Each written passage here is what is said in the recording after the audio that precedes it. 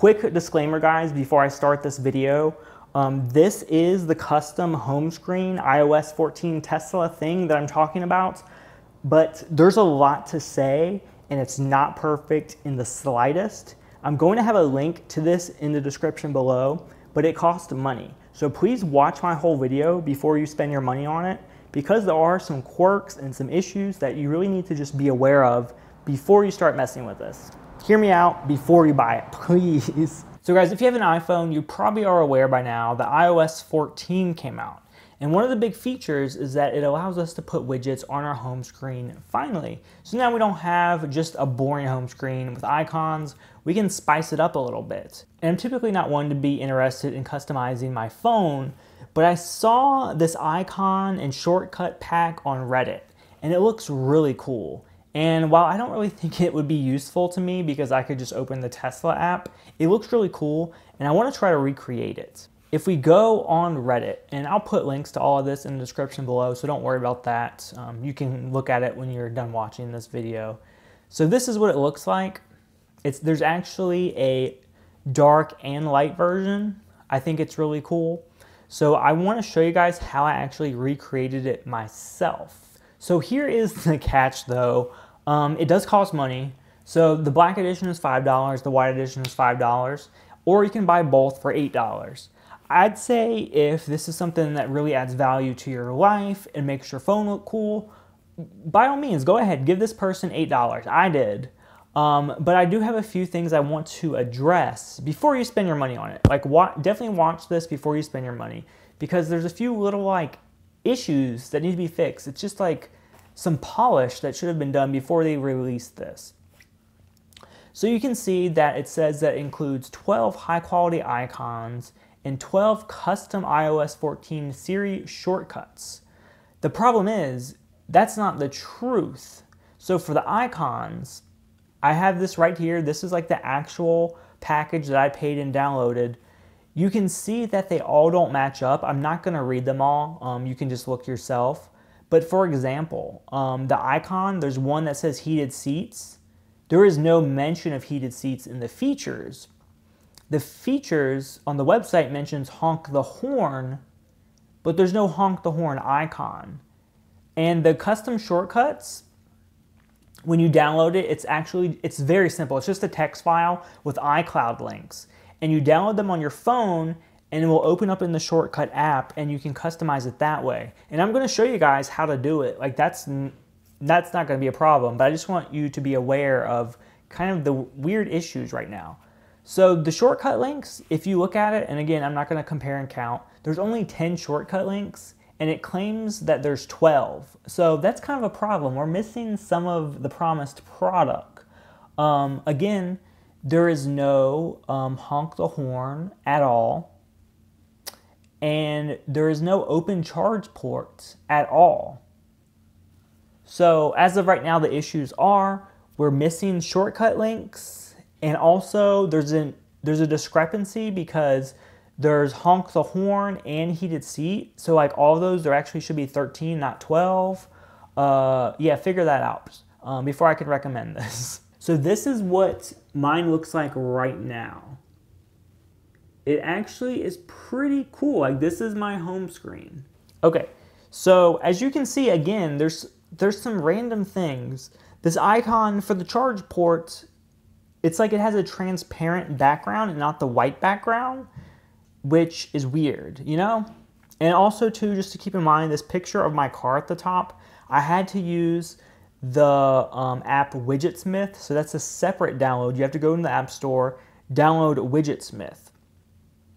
I'm gonna kind of do this from scratch. So let's kind of recreate the dark version so you can see exactly how to do this. I'm not gonna do every single icon because it's gonna take forever, but I'm gonna show you kind of how to get started. So first, let's do the widget. So, um, so first of all, all you gotta do is just go into the App Store and you wanna look for Widgetsmith. And there it is right there. Uh, so I've already downloaded it, obviously. The size that you wanna do is medium because the, the large one takes up way too much space. So we're gonna do add medium widget. It automatically adds medium three and it defaults on calendar. We added the medium three, we're gonna tap it, tap again, and then we're gonna scroll down and we're just gonna click photo. And we're gonna go to our gallery and just find a photo.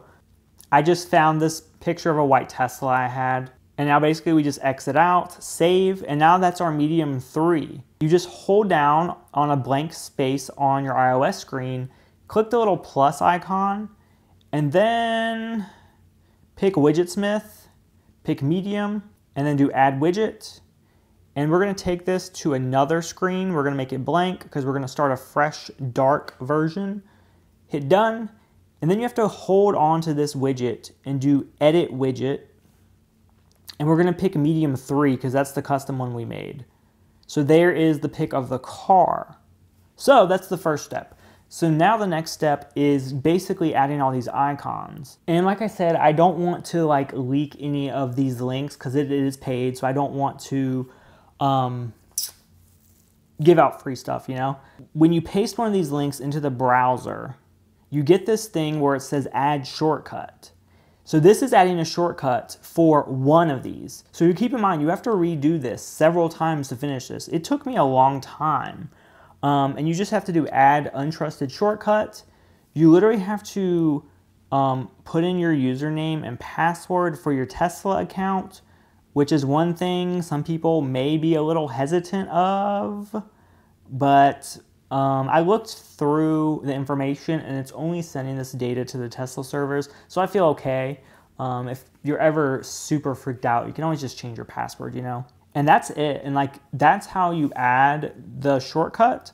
So basically I added it twice just for demonstration purposes. So here's this new climate setting I added. And to add this to your home screen, just, just click the little three, um, little three dots and you have to actually click it again. And now you do add to home screen.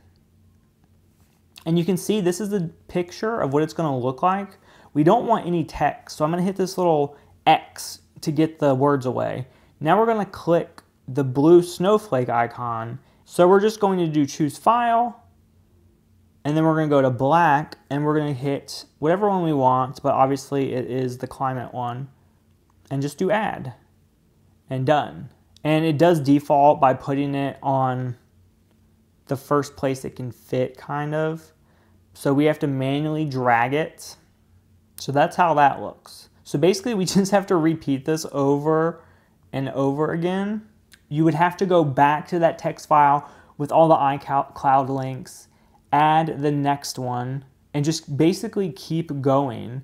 So once you add the link, it's gonna add the shortcut. You click these dots, you do add to home screen, delete the text, do this, choose fo uh, choose file, pick the icon that matches. Okay, and you just have to keep doing that. Um, and also too, we can change the background color because that's, he actually included that image. So black background, set both, and then this is how it's like starting to look. Whoa, look at this. My um, icon pack looks better now. Remember the charging port, the white? That was weird. So it actually looks better now than it did. Yeah, for whatever reason, like it doesn't like this background. that one icon doesn't like it. I'm not really technical enough to know why. And let's just switch this. Because I think it'd be a better vibe. There we go. Yeah, I think that like looks better. And of course, like I would have to remove these icons because the bottom icons don't really match at all. That's like the problem with customizing your phone. It's so much work because you have to make everything match. Like right now it looks good, but the icons at the bottom are like out of place, you know? And like I said, I'm not gonna repeat this for all of these icons. That's too much work. You kind of get the gist of how to do it. Um, I think it's important that I actually show you guys how this works. So let's go out to the car. So let me just demonstrate. So I'm not gonna tap the GPS one because, yeah. Let's do the frunk. You can see it pulls up this shortcut thing, but then it gives an error. So here's another issue with this thing. If your car is asleep, it can't wake it up. So we actually have to wake up the car first. So that's just one thing to keep in mind. But now we can open up the frunk. And it opens up this shortcut menu. You can see it opened right there. Done. If we click this trunk, it will open in a second. There you go. It's not the most aesthetic thing because the Siri shortcuts pulls up all the time. So there's also a button for lights. I'm going to tap that. So I mean that works. But then it says there's a problem flashing the lights. Error is yes. Like what? and then there's battery status where you can check the battery. Your, char your car is charged 85% and can drive 257 miles, so that's useful. Um, there's a climate one as well, which is not useful to me because it literally just shows you what's in your car. Your climate control is off and the temperature is currently set to 66.92 degrees, but it doesn't turn it on, so it's kind of useless. Um, and then two, remember how I said that there was icons for the charge port and heated seats, but no, nothing attached, like no custom shortcuts. Well, I added the icons and just attached an arbitrary thing to it. So it doesn't do what it says. It just, I just made it the charge state. So that was just for the sake of making it look more um, uniform because we need the 12 icons just because it looks better. So basically at this point, guys, you can see that there's a lot that's quirky with it. You're welcome to buy it, but if you're expecting a very fluid and great experience, you're not going to get it. It's kind of more of a pretty face to see on a picture, but when you start using it in real life, no, there's too much wrong.